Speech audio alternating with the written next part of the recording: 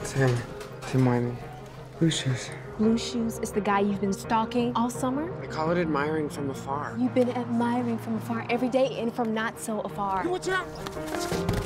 Gosh. Oh my god. What is your problem? I don't know. I'm a klutz. Oh, your house is super close if we cut through those trees. My house? Yeah. Okay, let's go. So what's it like being gay?